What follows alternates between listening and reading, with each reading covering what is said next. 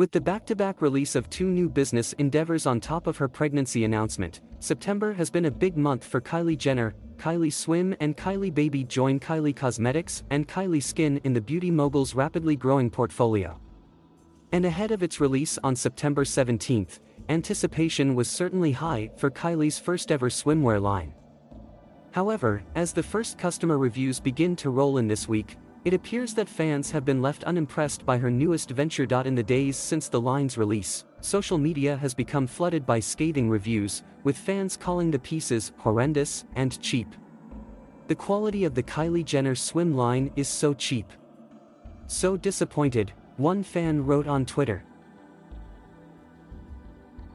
Elsewhere, TikTok reviewers have shared footage of messy tailoring and sloppy stitching, pointing out loose threads and snags in their brand new garments, with some even joking that the bathing suits were perhaps made by Kylie's three-year-old daughter. Stormi, many were equally unimpressed by how see-through the swimsuits were, particularly in light of their $80 price tag, with several customer reviews on TikTok noting that the Kylie branding on the inside of the bathing suit could be seen right through the material.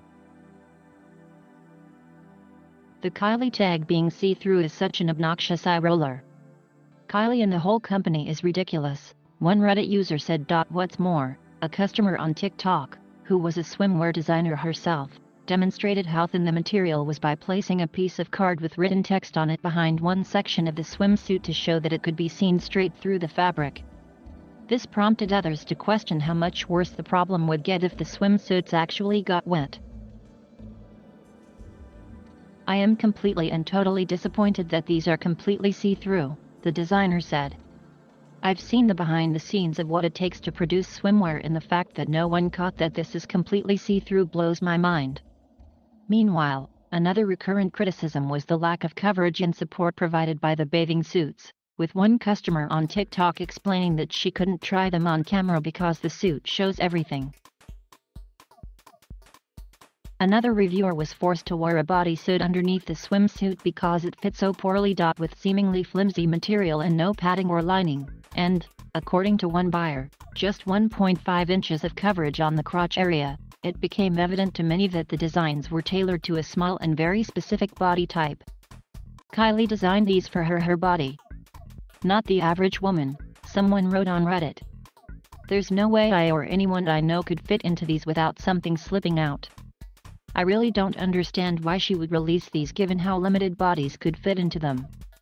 Others echoed this viewpoint on Twitter, with one buyer sharing a photograph of one of the swimsuits beside the caption, Fashion these days caters only to one unrealistic body type, tell me who with a normal non-surgically enhanced body can wear this.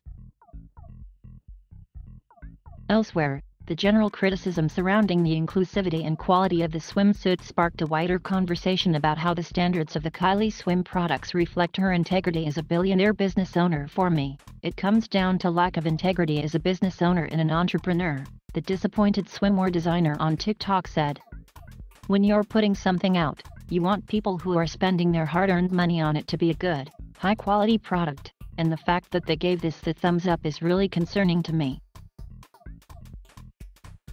In a similar line of commentary, one critic on Reddit suggested that the poor quality of Kylie Swim reflects careless manufacturing standards and a disregard for the customer experience.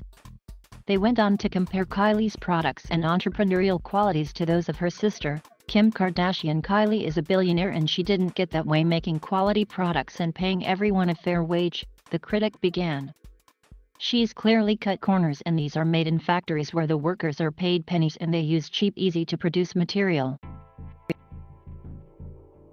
Say what you want about Kim, but at least Skims is high quality and something Kim actually likes and wants to make a product that works for customers, she went on. The poor quality also felt particularly surprising to some considering Kylie's personal wealth and the size of her company with one Twitter user writing, I don't understand how you can be so cheap with manufacturing costs as a billionaire.